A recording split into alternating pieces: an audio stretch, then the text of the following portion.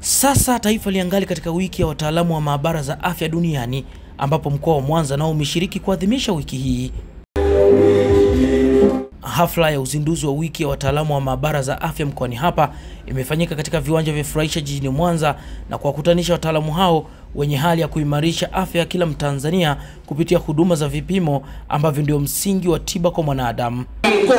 Haswa leo hii imekuwa ni siku ya kunena juu ya harakati na nguvu za kuboresha sekta hiyo, ingawa mapungufu yangalipo, ikiwemo uwepo wa huduma za maabara bubu za binafsi ambazo zimekuwa hazitoi majibu sahihi kwa wateja wao na hivyo kuficha taswira halisi ya taaluma hiyo.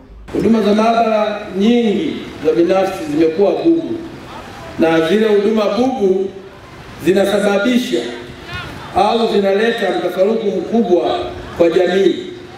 Hii imekuwa ikitokea mara nyingi, hasa pale wamiliki wa maabara binafsi ambao wanakuwa wanaajiri wataalamu wasio na sifa za kuweza kufanya shughuli za kimaabara au kufanya uchunguzi na mwisho kuathiri huduma ya kimaabara. Kwa upande wake, mratibu wa huduma za maabara mkoa wa Mwanza Julius Shigela amekiri uwepo wa kadhia hiyo na kwamba serikali imeendelea kuchukua hatua kila inapobaini.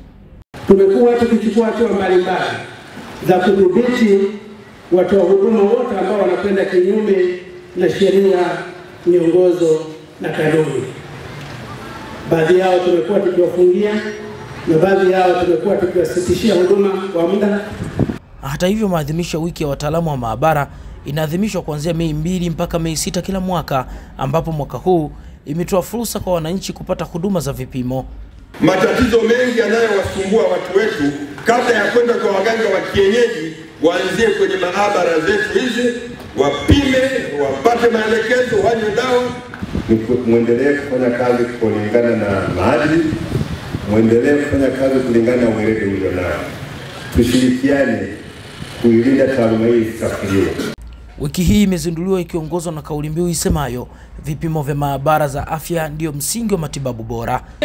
Sudi Shaban, Star TV, Mwanza.